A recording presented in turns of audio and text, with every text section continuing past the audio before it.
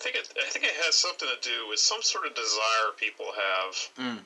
to see the divine or the godly in the physical form. Like they want. They don't want just a belief in God. They want to have have have a God or, or some sort of divine presence on earth where they can just they can just surrender their free will, Mm. you know, or, or just give up uh, any kind of pretense to having a free will, and they can just you know let this person guide them. You know, they don't have to they don't have to make real decisions anymore. You know, they don't have to they don't have to really think about it too much anymore. They just need to to, to, to do the, the cult program, uh, be able to, to regurgitate it to people that might be possible potential members, Mm. Mm. and and that's that's really all they have to do. You know, and, and, and the rest is just sort of like a I don't, I don't know. I guess it's sort of like a warm, fuzzy, feel good feeling. I, I, I don't know how else to describe it. It's probably uh, way more appealing when you're a complete fuck up in your real life. True. You know, someone just uh, saying, "Well, you're not a failure. You're a success because of this." You know, you can basically distract yourself from your shortcomings. I suppose that's what the Estonians definitely do. Yeah. Yeah. What was that? Spider-Man giving up on being narcissistic. Oh, Oh, that was the best joke last week. I think. Was I thought that was more than a week ago. Really? I thought it was like two weeks ago. I, am um, maybe I don't I'm know. off. Maybe I've just been laughing about it for over a week. I don't remember. That, that was just really funny. Yeah, she makes uh, some pretty funny videos. I mean, not intentionally, of course, but I mean, there. I don't know. There, there's some comedy gold there. yeah. Definitely. Mm. Especially when she's trying to be funny and she's not, but that in itself is so funny. Yeah. I, I love the reverse logic of that. Uh, I like some of the uh, comedy Desteni brings out when they're trying to be funny, when they're trying to be, you know, clever, doing these little things which they think, oh, it might get us some attention.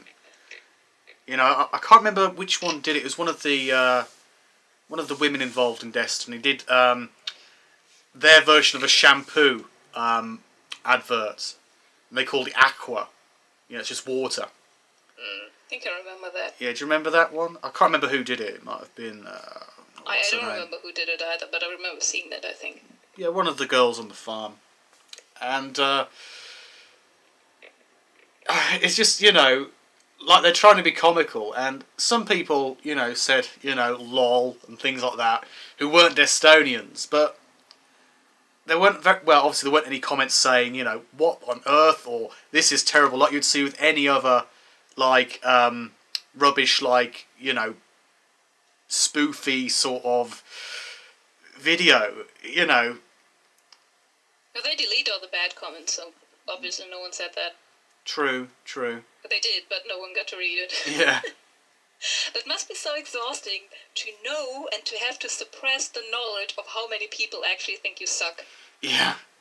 That must be so. I mean, I, I'd be devastated if, if I had to go around all my videos and check for negative comments Mm. And delete them and hope that nobody has seen them in the meantime and then realize how many people think I'm completely stupid. Yeah. I mean, yeah, what was it? What was it you were talking about with, with Spam Man? She made some video about I delete comments because people have potty mouths or something. It- it- it- you know, I want to say that's not the only reason you delete comments. There are other reasons you delete comments. She just randomly deletes comments of people she doesn't like for whatever reason. you know, I, I love that element where they can be, well, they can call themselves self-honest, and yet everything they seem to do is the mirror opposite of any form of honesty I've ever heard of. You know, it's like, oh, uh, we're deleting, you know, deleting comments because of, like, as you say, um, people with potty mouths. Yeah, that they do swears. That's the reason why I'm removing the comments. It's, it's got nothing to do with them like questioning the uh, the cult belief or saying that my you know points are stupid and illogical. No, it's because they got potty mouths, and I can't stand people with potty mouths. You know. Yeah, male Desteni members sometimes really like uh, to use the word fuck Yeah. a lot, like five times in one sentence. Wow, it's it's like when Valley girls say totally and like every two words. Pretty Yeah. much like that, only with the word fuck instead. Yeah. Well, I think it's very telling when, you know, uh, a group of people either ban or block you, and then the opposition doesn't ban or block. Like, I, I don't have any of them banned or blocked. I mean, they can come and talk to me whenever they want to. I don't care. Oh, yeah, I, I didn't even block Troll Friend. He turned out to be rather nice when you let him talk. What's that guy's name in real? Uh, I think that was the Dirty Jesus guy, right? Who just likes to, to spam and post under many different addresses, and it turns out he just cannot properly communicate, but he really likes it when people just listen or read to whatever he said, and then he's happy, and afterwards he comes and deletes all of his comments himself. Hmm. But if you block him or delete it, he gets really angry. Oh. So but apparently that's it. He can be a really nice guy, apparently, if you let him talk first. And then he you, might, feels you might want to clarify he's not a Destonian. Yeah, no, no, not Ah. really. He just hangs around with Destonians a lot, and he digs a net, and he thinks Oh. Batman got a nice ass, I think. But I think that's her own fault because she talks about her ass all the time. that's so sick. I, I dread to think what some of these never wanted to people do when uh, when they're on Skype. To be entirely fair, you know, I, I just I, I I dread to think Yeah. because some of them sound a bit yeah. risky. They sound a bit you know uh, a bit interesting to say the least. Yeah, and they, they like talking about genitals. Definitely. Well, this sex is one of their most uh, favorite topics. They love Oh, to talk yeah. Uh, they'll, they'll, they'll- say- they, they can talk that topic to death. You know what I say? Sex is only a topic when you don't have any.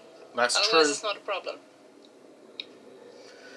You know, the most you get some of the most sexu- uh, sexually repressed people, and they're talking about it continuously. And you know, it's pr- well precisely what you say.